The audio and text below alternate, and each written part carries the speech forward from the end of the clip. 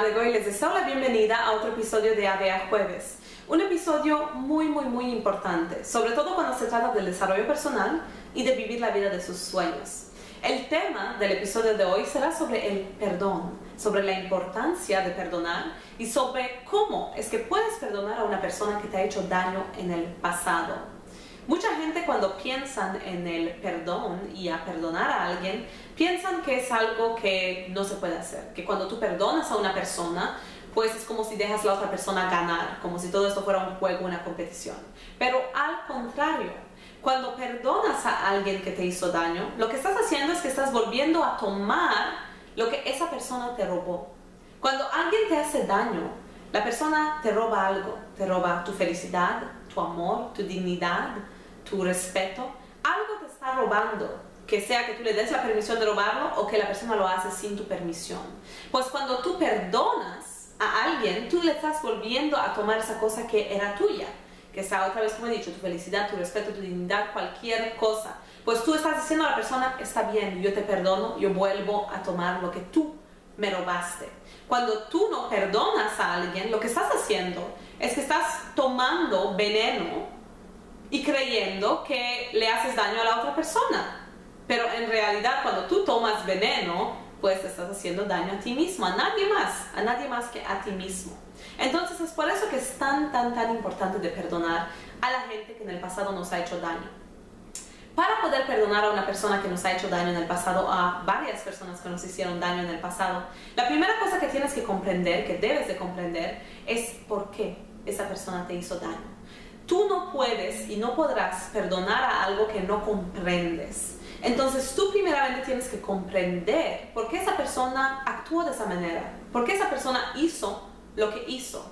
Muchas veces es porque esa persona no sabía, no sabía, no sabía mejor, no había tenido la, educación que, le, ah, que le, pudo dar los, um, las herramientas para poder ah, actuar de una mejor manera. Quizás no tuvo el amor que tenía que tener para resentir amor y para no dañar a otras personas. Esa persona simplemente no conocía, no sabía mejor. O esa persona tenía miedo. En el mundo solo hay dos sentimientos y emociones que existen a la base, el amor y el miedo. Esas dos emociones son opuestas.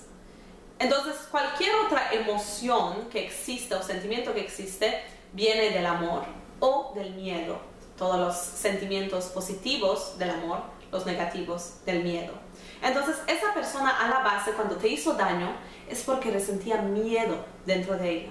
Entonces, el momento que tú comprendas que esa persona no sabía mejor, no tenía mejor educación, no había tenido amor, no había tenido los conocimientos para actuar de manera distinta y no hacerte daño. Y también el momento que comprenderás que esa persona tenía miedo. Lo que estaba haciendo, el daño que te hizo, lo hizo por miedo. Es ahí que podrás comprender que esa persona te hizo daño, sí, pero esa persona merece compasión, porque esa persona no sabía, no sabía. Así que el momento que tú comiences a sentir compasión por esa persona que te hizo tanto daño y que no querías perdonar, es ahí que el proceso del perdón verdaderamente podrá empezar. La segunda cosa que tienes que comprender es que tú no eres la víctima, tú eres la que ha ganado en toda la historia. Si tú crees que por lo que algo te hizo en el pasado tú eres una víctima, pues es ahí que no puedes perdonar, porque tú sientes que esa persona te ha robado algo, que por esa persona tú eres menos, que por esa persona, por lo que te hizo, tú eres una víctima. Pero el momento que tú comprendas que gracias a esa persona y a esa experiencia que esa persona te hizo vivir, aunque sea la más horrible de las experiencias, tú eres una persona más fuerte, más inteligente, una persona mejor, pues ahí podrás decir, ¿sabes qué? Yo te perdono, porque gracias a ti yo soy alguien mejor hoy de la persona que era antes. Y es ahí verdaderamente que podrás liberarte de todos esos sentimientos negativos y verdaderamente poder perdonar a la persona. Y cuando perdonas, es ahí verdaderamente que tu vida podrá comenzar a avanzar más. Si tú hoy en tu vida sientes que estás como trancada, que sientes que tus sueños no se están realizando, sientes que ah, no, no tienes lo que deseas tener, es muy probable que hay personas en el pasado que tú no has perdonado. Entonces trata de pensar, ok, ¿cuáles son las personas o las situaciones que no he perdonado todavía en el pasado? Y así podrás finalmente liberarte. Así que si te ha gustado este video, no te olvides de echarle un like No te olvides de suscribirte para nuevos videos a todos los jueves en español.